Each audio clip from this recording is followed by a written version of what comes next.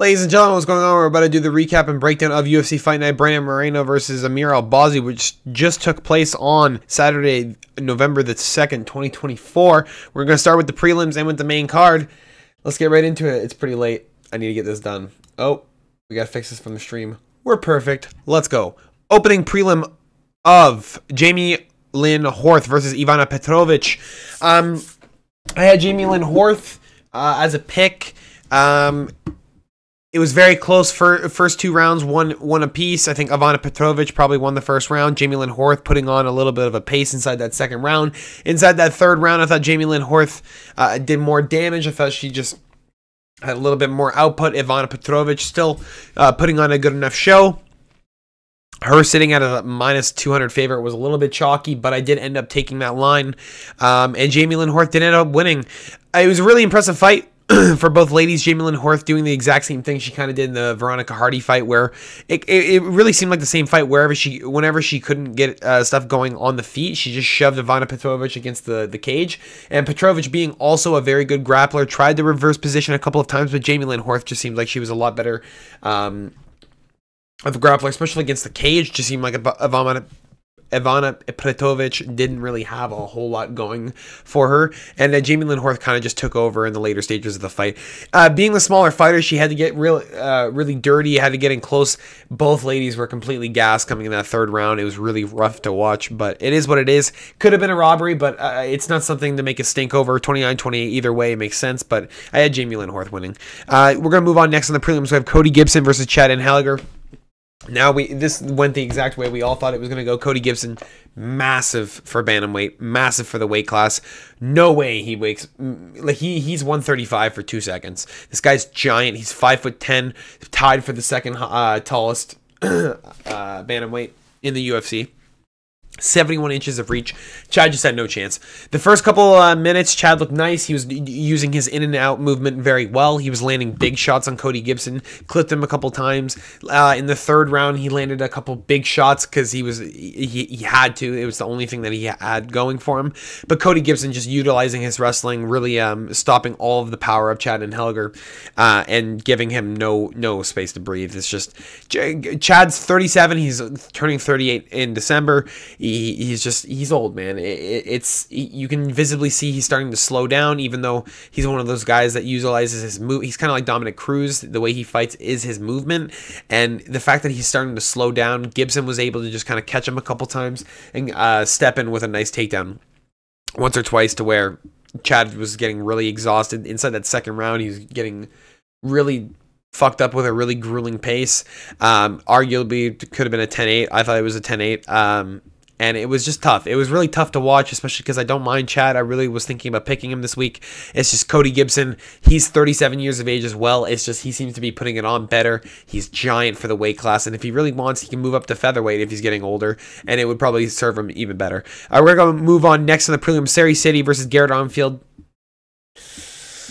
I thought Sidey won the first two rounds. Now, people are arguing with me. People are mad at me, saying that how the fuck do you give Sidey the first round? Dude, the power was coming out of Sidey. Garrett Armfield was landing more, but I think the power out of Sidey was a lot. Uh, the little bit of blood that Sidey had wasn't a, a big enough thing, in my opinion.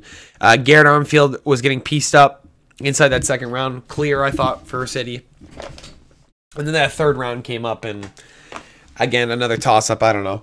Uh, it's really close. Could have been a. I think it might have been a robbery. Honestly, uh, it could have gone to Garrett Armfield, but I'm not mad at Sidey, man. I, I I thought he fought a good fight, especially after that Ramon Taveras fight. I thought he deserved that fight as well.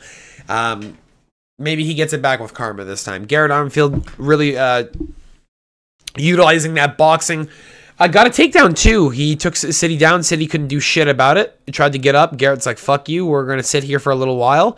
Um, took a round off him for that.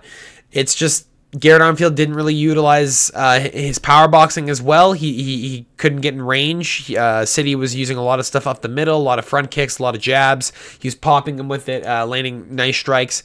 Garrett Armfield only losing to some of the better people up at uh, bantamweight. It's just like He even beat Brad Katona. Eh, It's just he, he has a problem where he's kind of one dimensional, and whenever he shoots for a takedown, it's a little bit too late. I think if he would have shot a takedown early in the first round and maybe early in the second round, he would have won those first two rounds, and then he would have just had to deal with the, the pressure of Sidey in the third, which isn't really that much, seeing as he clearly gasses after the second round. You can see him slow completely down. He's one of the few fighters I see that you can visibly see his hands get lower and he just gets gassed. So, Serhiy Sidey's good, man. He, I think he needs to work a little bit more on that cardio. I think the, the jab and the front kick would have been more money for him if he just threw it. His coach was even telling him everything down the middle is landing, stop winging punches. Kept winging punches. It is what it is. He just has to learn th- th- that he can trust his striking and, and get over a guy who's five foot six and doesn't have any business being even fucking near him. Uh, we're gonna go next on the prelims. Alexander Romanov versus Rodrigo Nascimento, and Romanov, uh, basically showed up Nascimento. Nascimento, uh, again, this is the testing ground that we were talking about for Nascimento. I was talking about in the stream as well. Um, the first round was going to be a big test for Rodrigo Nascimento. Uh, this is the first time that he's ever fought someone that has really decent wrestling and is also really decent in the striking. Alexander Romanov looked like he had a lot better cardio than he did any uh, the last time around, uh, weighing at 261. Usually he's at max 265. He used to weigh in at 240, 235. Uh, he looked a lot better back then. I guess he really likes tacos and burritos like fucking Kevin Gastelum or Kelvin Gastelum, excuse me. And yeah, he just doesn't give a shit anymore. He's 33 years of age. And I think if he dropped the weight and, and got jacked like Jailton Almeida, he might have a fucking big shot at heavyweight because he looks really nice, man. He's mixing it up really well. Rodrigo Nascimento, nothing. There was nothing there. I don't even know how you give him a round. There was nothing there. There was absolutely nothing. He got taken down, couldn't get up got dragged back down. As soon as he got back up got dragged right back down. He had the reach advantage could have been using that jab could have been utilizing the jab in the later stages of the fight but was gassed. He was completely gassed. Alexander romanov was the one doing all the fucking hard lifting and rodrigo nascimento uh, didn't like dude nothing did nothing. Exploded once in the first round which i was happy about just to see um, if he was able to get up. Wasn't able to get up so now we know that you, the second and third round as soon as the round starts you're avoiding all those takedowns. No matter what you have to do stay away from those. If you have to give up a bunch of punches get fucking rocked whatever you have to stay away from those takedowns because you're not getting back up. You can't win the fight on the ground. And he just led into a takedown after takedown. Third round came around we're standing and banging. Alexander Romanov has his hands down to his fucking hips, and he's not even defending. And Rodrigo Nascimento can't do anything. He literally couldn't do anything. He, he couldn't pop anything. He couldn't hit any. He hit maybe a, a nice one-two, uh, a nice left hook, and that was it. Uh, Alexander Romanov overtakes him. I thought 30-27. I think there was a 29-28 in there. Whatever. A little bit pathetic of a performance by Rodrigo Nascimento, but now we know where we stand with him. Uh, just absolutely fucking atrocious. Losing to Chris Daukaus as well is just fucking laughable. Did Chris Daukaus lose again? Oh my Jesus, bro. It's gonna be okay, brother. He lost to another black guy.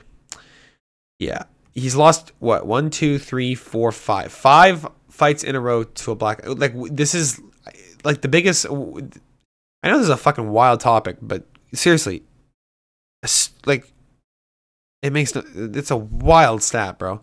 He's been knocked out like for what four times in a row, and then leaves the UFC, and then loses to fucking Tafo Ninjutsu or Ninjutsu or Ninjakui. Jesus fucking Christ! This is the dude that used to be in the UFC. I remember this guy, bro. I Jesus Christ, he's just getting laid out by people from the black dudes from the UFC. Let's fucking go. Chris Daukaus is just fucking awful, horrendous, one of the worst fucking pieces of work I've ever seen in the fucking UFC. Next on the prelims, we have uh, Youssef Zalal versus Jack Shore. Um, yeah, Youssef Zalal just overtook everything. Uh, very, very impressive, man. I, I don't know many Moroccan fighters in the UFC, uh, but he came out on a on a with a fucking mission, bro. Jack Shore had no business being in the octagon with Youssef Zalal. Uh, landed a couple nice strikes early in the fight. Youssef Zalal had his hands a little bit low. Would have liked to seen him a little bit higher. Uh, Jack Shore, again, had a little bit of an intense fight with uh, Jordan Brito, having a major cut on his shin, having to stop the fight. But Youssef Zalal here gets a three quarter Nelson, or no, sorry, this wasn't the fight. Um, ends up on top position. Uh, I believe it was in a scramble, gets the arm triangle starts choking Jack Shore out, and Jack Shore doesn't even do any defense. He sits there and doesn't even like do the fucking shitty defense where you like you post up with your shoulder and try and like move it up. He literally just sits there like this, and then right before he taps, he does this, and then the, just gives up and taps. and like uh, whatever. You you didn't even fucking try. You're definitely getting kicked. excuse me, kicked out of the UFC for that one, probably. Getting finished three times in the last four fights. Very impressive from Youssef Zalal a lot of improvement out of him, and I'm really excited to see what else he, he can do inside UFC because this is one of the few fighters that can make a second stint inside the UFC and just fucking go off. He has four, five finishes in a row, but three finishes inside the UFC, all chokes. Very impressive. I'm very, very, very impressed by him. His first round was a little bit rough, though. Again, keeping the hands a little bit low. If he would have had his hands high, I don't think Jack Shore imposed any threat. I think the uh, mix-up of Youssef Zalal was too much for him anyway, and I think it would have been it just would have benefited him to not get cracked a couple of times. Maybe it woke him up a little bit to get hit, but you know. Next on the prelims, we have Charles Jourdain versus Victor Henry, and luckily, uh, Charles Jourdain gets a finish that I was really, really hoping for because I, I, wanted him to get it really bad. Victor Henry is getting very old. He's 37 years of age. Still looked good inside this fight. Not one of those guys that is putting on the age really badly. Uh, knocked out Yaya last time round, who's kind of on the fucking downfall. He should be out of the UFC if he's not already. Um, Charles Jourdain, very impressive, bro. Uh, that guillotine was slick. Got it. Ah, fuck, I'm trying to remember the fight here. Uh, start.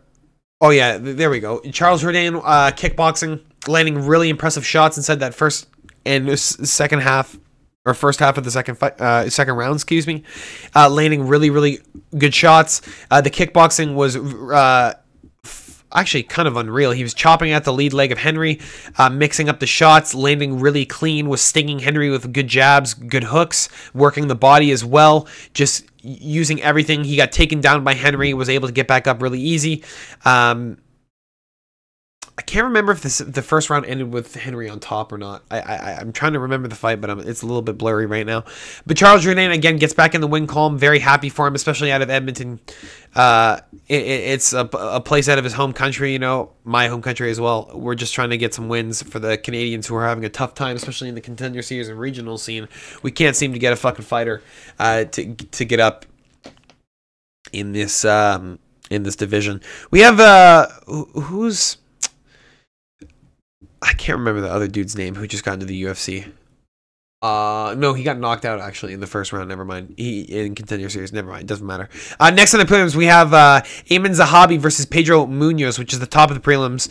Um, Aiemann Zahabi with one of the most beautiful uh, uh, like fights I've ever seen in my life. He he looked the best of the best. He looked incredible. People were saying he looked robotic and stiff. I think he just looked locked locked in. He looked like he was in a flow state, really good defense, uh, keeping his hands high. A very awkward defense, yes, but he was blocking majority of the shots from Pedro Munhoz, landing big combos, damaging strikes. Looked like he uh, hadn't even got touched until that third round started. Pedro Munhoz was starting to put on the pressure and finally damaged Aiemann Zahabi just a little bit. But Pedro, Pedro Munhoz, man, we got fucked up, swollen eye, bleeding completely down the right side of his face, uh, and, and lost a very, very heated fight where Aiemann Zahabi looked looked locked in, man. He looked like he he he, was in the most comfortable zone he'd ever been in in any fight I've ever seen him in. It was it was actually incredible. It was very very fun to watch because eh, you're seeing a guy who overcame a guy like Javid Basharat, overcomes a, a very well vetted man like Pedro Munhoz, who who who's a very good gatekeeper. Granted, Pedro Munhoz is a little bit older, but Javid Basharat's not old. He's fifth, he was 15 and 0, and and now you have him where Aiemann Zahabi's starting to land some incredible strikes where you're seeing the power in his step in. And you're seeing Pedro Munhoz get snapped back, which is incredible, especially seeing as he didn't even take this much fucking damage from like fucking Chito or even Dominic. It was incredible in a three round fight too.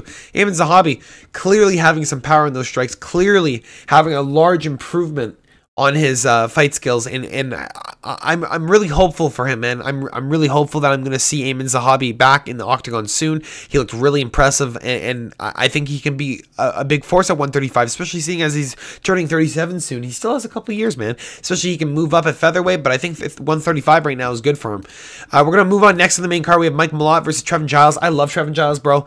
Um, I do, but I picked Mike Malott here, and and the reason why Mike Malott wins is because Trevin Giles doesn't throw, and I don't know why he didn't throw. He like my, my brother, what the fuck are we doing here? We we have one of the hardest hitting 170s in the division right now, and we're not throwing. Mike Malott's face was red just from like 20 strikes from Trevin Giles. I'm not sure why he didn't throw. I, I, I really don't understand. I really would have liked to see the one two out of him more. Mike Malott would have got pieced up, bro. He was getting hit up in that first round. He got cut open right away on the bridge of the nose. They had to cut uh, uh close that. It wasn't big, but still, it's something like. It, instead of just stalking and, and following Mike Malott around, how about we do something? He didn't even shoot once. Mike Malott shot once to make Trevin Giles drop his hands. One time, and I think it was in the second round. One time. And it was like the first half of it. We we got to be fucking throwing these hands, bro. You have uh, you're literally your name is the problem, bro. You have hands like I've never seen, and we're not throwing them. You took you you had a fucking competitive fight with Carlos Prates before you got knocked out. What are we doing here, bro? We can't be so tentative, especially when you're fighting Mike Malott, who it's not like he's gonna fucking throw hands with you. He, he's trying to get those kicks. Jesus. Anyway, he's trying to get you on the ground too. Like he, most of his wins are by submission. Anyway, next on the main card, we have Dustin Stoltzfus versus Marc Andre Barriault. Uh, Dustin Stoltzfus, whenever he gets Marc Andre Barriault down, uh, Mark couldn't get up. Mark sat there for a long time inside that first round. I was like, oh shit, this is over. Um, this is just sad. Mark gets up with 50 seconds left. I was like, okay, this is this is this is where Mark is gonna make it stand. Yep. We start swinging. Mark gets clipped twice, and I'm like, okay, Mark should probably back away right now. No, let's wait into the fire a little bit more. Oh yeah, and then the right hand from hell of Dustin Stoltzfus just sleeps Mark, sleeps him, puts him on his ass, and he's out. You can see his he, his soul's not even with his fucking body at that point. Couple more shots from Dustin Stoltzfus ends it. Um, he gets a, a, knockout victory, which I, I I can't even fucking believe to be honest, because Dustin should not have won that fight. He's the type of guy that you would have thought that Mark would beat the shit out of, and now we're going to see Marc Andre Barriault out of the UFC at this point. Um, I really thought he, he was a lot better than than what I saw. I thought he had a little bit of ground game. I thought he would have avoided the stand and bang whenever he got clipped, and it just showed that he has no fight IQ at this point, especially inside the 185ers. Man, they're starting to get better and better. And a Dustin Stoltzfus who got knocked out by a, a fucking double, double spinning elbow, basically, from uh, Bruno Ferreira, is able to knock out a Marc Andre Barriault, who used to be one of the most fucking like one of the strongest hitting 185ers in the UFC. We used to watch this guy just fucking knock dudes out, like Marquez. He knocked the shit out of Azaitar. You know, in TKO, he's knocking dudes out before he was the champ, before he came into the UFC. It's just unfortunate to see him come down this road where he's 34 years of age. He's going to be kicked out of the UFC, and he's probably never going to win another MMA fight in his life. It's just how it is. It's it, it's just unfortunate. And Dustin Stoltzfus is going to move on and fight better competition than Marc Andre Barriault will ever fight again in his life. We're going to move on next on the main card: Jasmine Jasudavicius versus Ariane Lipski De Silva. Um, De Silva is lucky she didn't get knocked out because she was getting stung. She's very lucky that she got choked out. Uh, inside that first round, Jasmine was getting popped a little bit. Uh, it looked like she, you know, we all knew Jasmine had the had the wrestling. We all knew that she probably should be shooting on De Silva, seeing as De Silva has way better boxing than her. And it took until the second round for Jasmine to realize that's where she wanted the fight to be. Took her down to the ground, realized that that's where we're going to win the fight. And then the third round gets a half Nelson uh, or a three quarter Nelson, slips in the Darce and rolls and gets De Silva to tap, which is really, really fucking impressive, seeing as De Silva doesn't have very many submission losses on her record. Um, one, there you go. That's her first submission loss on her record. She usually is a girl who gets knocked out, and and Jasmine Jasudavicius is a girl who can knock her out. And and I'm surprised that it, in that third round it wasn't a knockout because these girls were throwing ha- hands. De Silva was getting clipped because she was tired after that all that wrestling inside the second round, and Jasmine just was putting a, an unbelievable pressure on her. I'm very happy for her. Jasmine's one of the uh, the, the girls I've been paying attention to for a long time, uh, especially uh, where is it? The Natalia Silva loss was unfortunate, but you saw growth in Jasmine Vidikas, uh, and you knew she was going to come back better. The Tracy Cortez loss is a little bit of an L, seeing as Tracy Cortez is kind of not that great in my opinion, but it is what it is. Uh, I think Jasudavicius, if she can work on the, the boxing a little bit more and just utilize the mix up because she, she took way too long to take De Silva down. She could have got that submission way earlier, but I'm very happy for her. I'm glad she got it done, and especially at 125. Let's get some more uh, some more fucking talent in there. We're going next on the main card. Brendson Ribeiro versus Caio Machado. Caio Machado outstrikes Brendson Ribeiro in every single round and loses in a split decision uh, after looking like shit. He looked like shit. He's a heavyweight dropping down to light heavyweight. Never, never is a good sign. First of all, usually you move up later on. Um, Jared Cannonier being the outlier, and Ribeiro uh, lands more power. It's Caio Machado outstrikes him, but Ribeiro it, makes the bigger reactions every single time Ribeiro lands a big strike. Machado smiles and does something weird, like a very obvious tell that he's getting cracked, and and it didn't it didn't matter. Uh, Caio Machado got fucked up.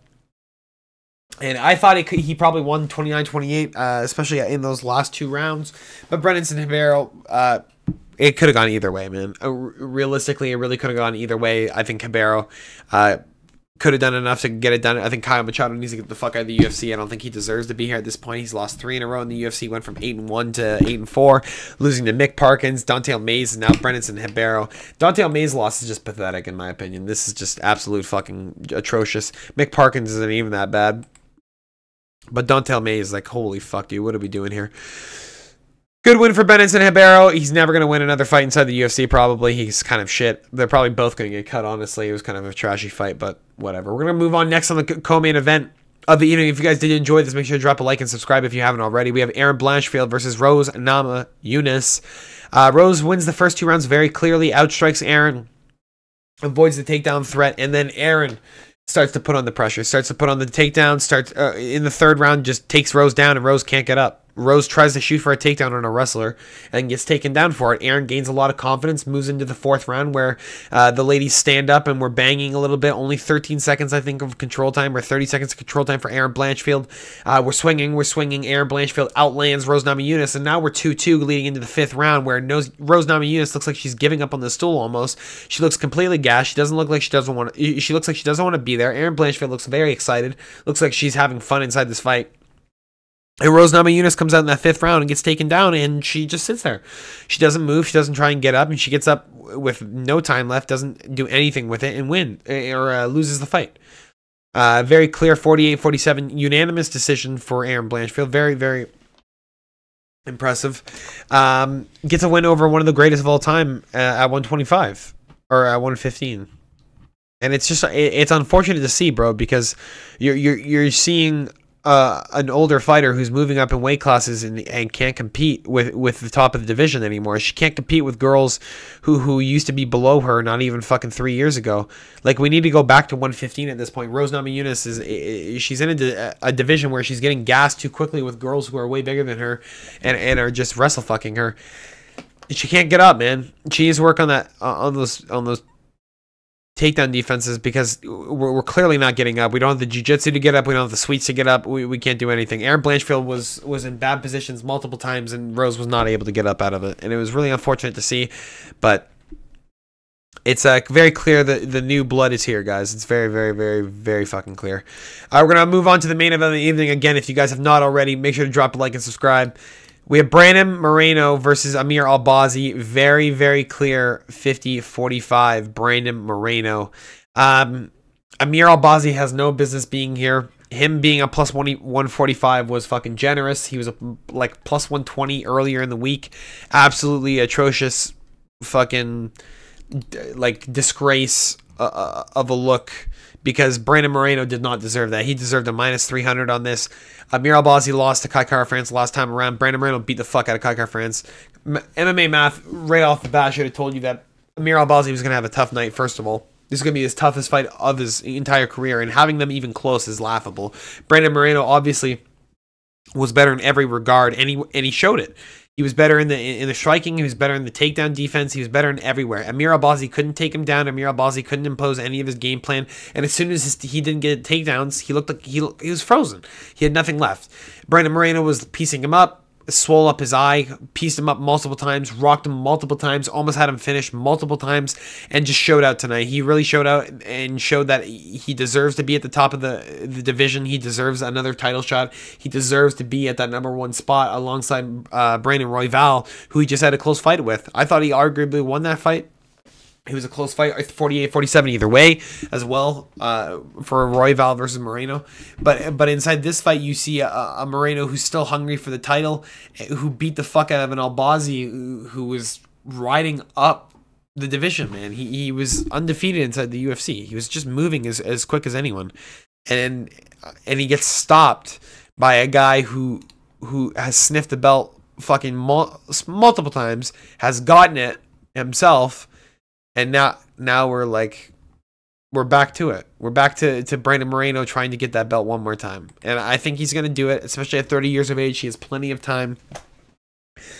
This kid has a lot of time, man, to make a, a, a big name for himself, especially at 125. There's a lot of shit he can do. Anyway, that's all I got for you guys today. Hopefully, you guys did enjoy. Again, we will be doing the predictions and breakdowns for the Neil Magny versus Carlos Prates on Tuesday, uh, November the 5th. And uh, that's all I got for you guys this evening. Hope you guys did enjoy. I will talk to you guys all later. Peace.